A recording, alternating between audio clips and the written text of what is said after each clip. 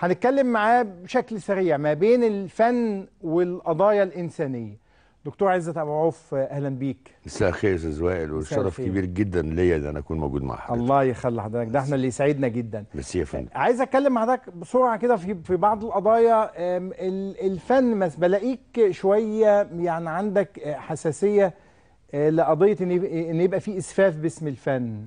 آم، وبتهاجم أحيانا بعض ال- ال- البذاءات والانحطاط أو بعض حتى آه، ما يمكن أن يسميه البعض توافه في الأعمال الفنية. هل بتهتم بهذه القضية؟ الصراحة جدا يا فندم ويمكن سبب من الأسباب اللي أنا مقلل قوي آه، من نسبة الشغل بتاعتي إنه في السنتين ثلاثة الأخرانية آه، كان كان في حاجات اتعرضت عليا. أنا يعني لازم اختار كلمه ما أعرفش اعملها مش ما أقدرش اعملها أو مش عايز اعملها ما أعرفش اعملها. آه. مش معقول هطلع قلع القميص وماسك سكينة في بقي واخد بشلة في وشي يعني.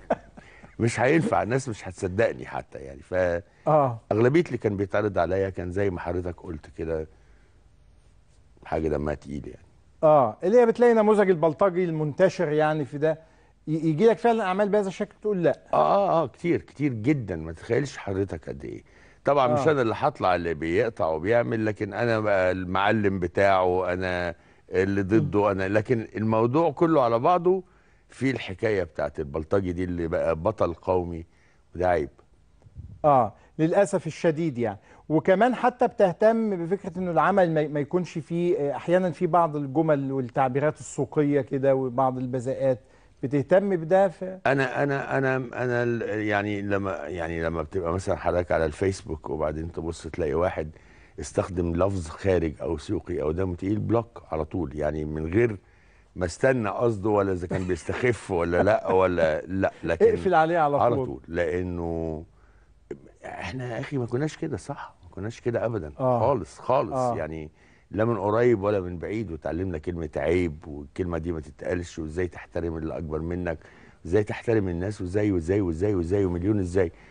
ده للأسف حضرتك أنا شايف إنه ما بقاش موجود كتير دلوقتي. آه ل- للأسف التدني الأخلاقي زاد يعني مظبوط. بشكل كبير.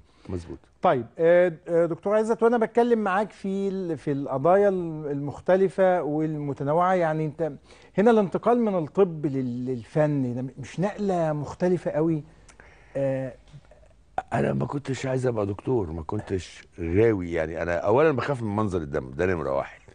ثانيا يعني الجروح والفتح والكلام ده يعني ده ما كنتش أنا من هواته ابدا ولا كنت في حياتي من هواته. فلكن كان تلبية لرغبة والدي الله يرحمه لأن هو كان بيحاول يخش كلية الطب لكن نظرا لظروف عيلته المادية ما قدروش يخش كلية الطب لأنها كانت مكلفة جدا على وقتها. فدخل الجيش لأنه أقل له سنتين ويتخرج ويشتغل وكده. آه. فانا ما كنتش عايز أخش خالص أنا كنت عايز أكمل في المزيكا زي ما أنا في معهد الكونسرفتوار وأتخصص وأسافر وأبقى حاجة اسمها prima vista اللي هم الناس المهمين جدا جدا. لكن آه والدي كان مصمم على على إني أخش كلية الطب وطبعا رضا الوالدين ده من أهم الحاجات آه يعني, يعني أنت عملت ده ارضاء للوالدين. طبعا فقط يعني لا غير.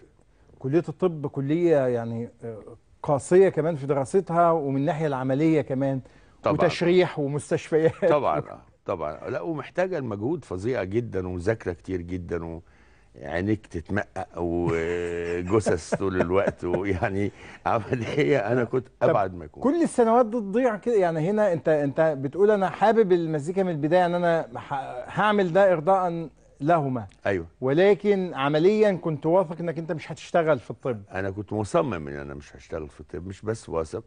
وكنت زي ما تقول حضرتك يعني باخده على قد عقله لغاية ما أنا أتخرج وأشتغل واشتغلت ست سنين فعلا مارست فيهم مهنة الطب بعد الست سنين دول. قلت له عملت لك كل اللي حضرتك عايزه أنا بقى عايز أعمل اللي أنا عايز أعمله دلوقتي. فمشيت في الناحية الفنية يعني. آه طيب آه